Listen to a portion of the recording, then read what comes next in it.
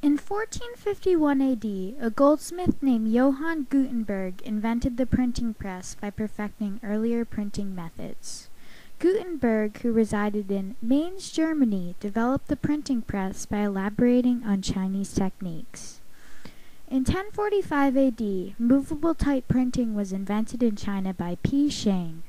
Movable type printing uses blocks of metal or wood with raised letters to print. However, movable type was deemed impractical due to the large number of Chinese characters. Gutenberg invented the printing press by successfully applying Chinese techniques to the alphabet. The Gutenberg printing press changed the world for it served as a match that ignited many successful rebellions and new practices. The printing press made it much easier to spread ideas and was the most powerful weapon in a time of war. People like Martin Luther used the press to spread new ideas. A desire to read and understand texts resulted from this, leading to reforms like laws regarding banned books. The printing press radically changed the development of books, which were previously possessed only by the rich and privileged of Europe. Prior to its development in 1451, European scribes copied books, which was an expensive and tedious process. It took scribes about five months to copy one book. In the same amount of time, a printing press could produce 500 of them. This lowered production costs of books, making them more available to people.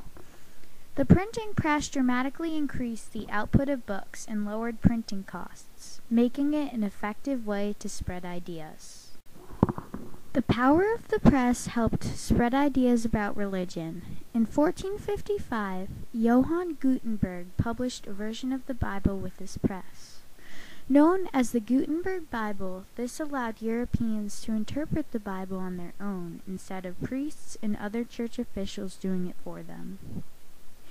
People could then draw their own conclusions based on those interpretations. Europeans also used the printing press to challenge religion. In 1517, Martin Luther published his 95 Theses in Wittenberg, Germany. The ideas contained in the document, which challenged the power and role of the Catholic Church, spread like wildfire with the use of the printing press. Humanists also used the press to share their ideas about the same topic. Humanists believe that people had the potential to achieve without the Catholic Church always taking control. In about 1519, Desiderius Erasmus, a Dutch humanist from Rotterdam, published his Colloquia. Colloquia brought about issues like the abuse of the Catholic Church. The combined ideas of Martin Luther and humanists such as Erasmus caused people to question the power and position of the Catholic Church leading to the Protestant Reformation. As more books became available, an interest to read and understand text increased. Prior to the development of the printing press, nearly all books were written in Latin, the language of ancient Rome and Europe's well educated people. However, some authors like Dante Alighieri, an Italian author who lived during the 1300s and wrote the Divine Comedy, wrote in the vernacular, which is a person's native language, and other authors followed his example.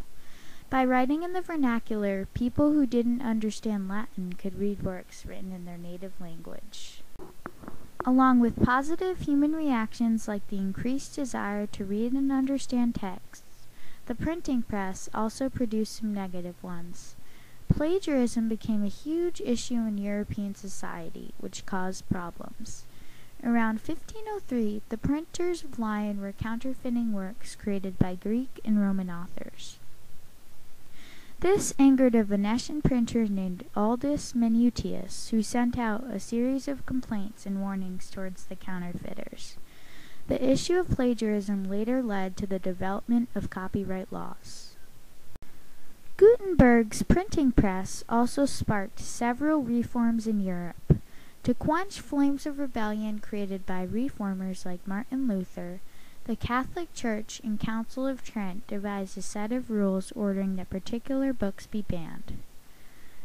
they created the document Ten Rules Concerning Prohibited Books, drawn up by the Fathers, chosen by the Council of Trent, and approved by Pope Pius, as cited from Modern History Source Book.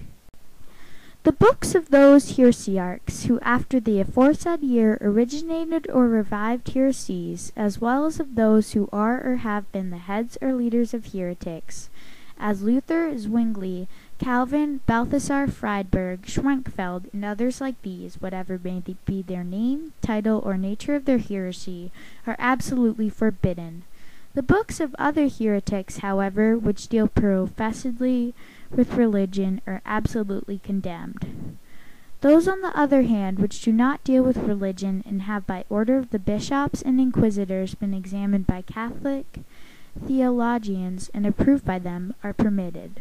Likewise, Catholic books written by those who afterward fell into heresy, as well as by those who after their fall returned to the bosom of the Church, may be permitted if they have been approved by the theological faculty of a Catholic university or by the General Inquisition. These rules were made as an attempt to maintain the power and authority of the Catholic Church. Reforms like sets of rules regarding banned texts resulted from the development of the printing press. The printing press radically changed the development of books and the spread of ideas. New Catholic laws and the Protestant Reformation resulted from it. Eventually, the printing press changed society a whole ocean away. Reformers armed with it helped ignite the American Revolution. In 1776, Thomas Paine's Common Sense was published, urging colonists to fight in the American Revolution and rebel against England.